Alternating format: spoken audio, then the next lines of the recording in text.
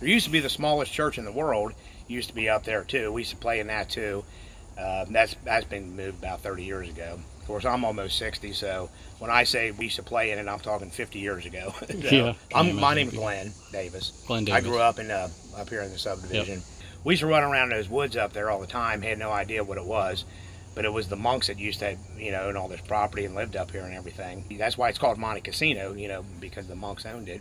Well, when when we were little kids, we would uh, we would go down over the hills, and we discovered the first thing that we discovered was a man-made creek or a creek. It was a creek bed that was man-made, you know, by rocks in the formation, and actually it runs all the way from uh, Monte Lane all the way down into Latonia.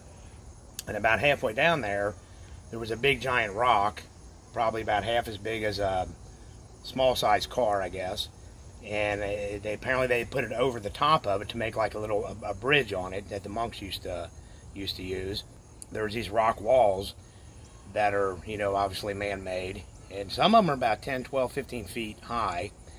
There used to be a big giant wine vat.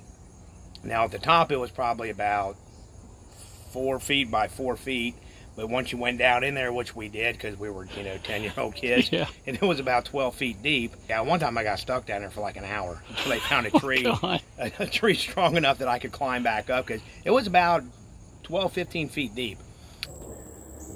So I think I made it down to the Monk Bridge, or what they're calling the Monk Bridge. Pretty sure that's what that is. It's a very large stone that straddles this stone-lined creek.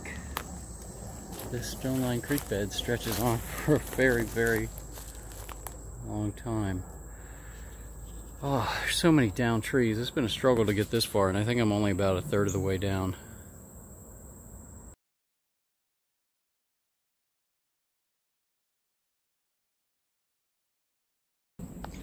So I'm on my way back up, and I'm back to the first stone terrace. I uh, I came from,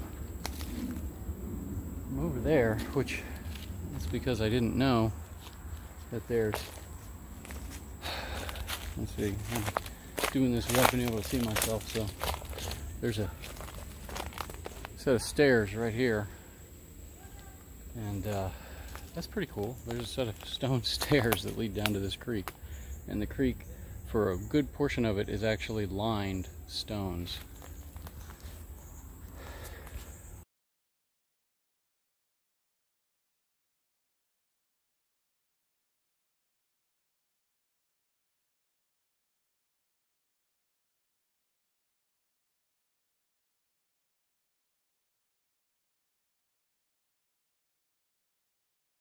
So this looks like it's it's like a little glade right at the top of the uh, of the stones, right before the right before you get to the stone steps.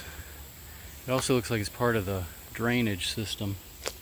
So the stone steps are back that way. And I'll flip the camera around and I'll look at the glade. So yeah, it's grass pretty empty. That's why I'm thinking this is part of the flood area. This probably pulls with water quite a bit before it starts to get over the wall. Ground's a little squishy, but it's, you know, it's regular dirt.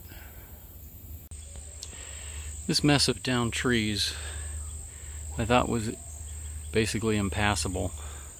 That's how I got down here, is through the center of these down trees. So I'm gonna maybe take a couple of still images for the sake of 3D to get back out of here.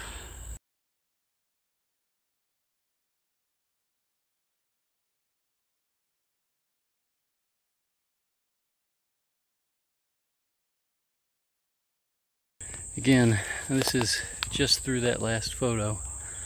And then this, which again appears to be impassable. But this is how I got down here, so I know I got through here. I'm gonna try to figure it out. Let's see. Oh, fall in a fucking hole. Underneath. Okay. Go underneath some stuff. More underneath. Ah, this is why I wear safety glasses. Because of this kind of stuff. Ouch. Yep.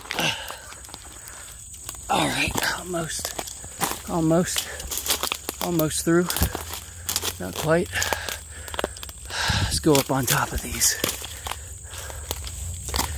No, no, let's just go through.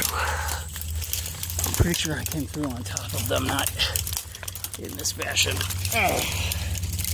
Oh, gonna have to go lower.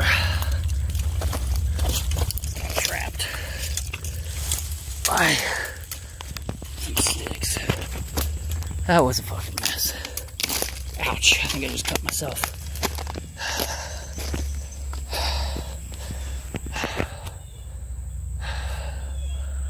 All right, I'm through. Just came through that almost imperceptible gap. And I think that when I went down there, I actually went over the top of those logs. That was the way I went. And this is the way back out.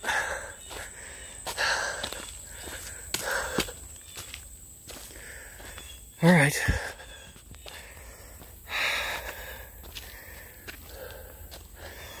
The no dumping sign should be right where that bunch of clear space is. All right, so I'm back. Obviously that no dumping sign. But that pathway right down here, that's the way. You see Monty that way. Oop, fell in a hole and more that way.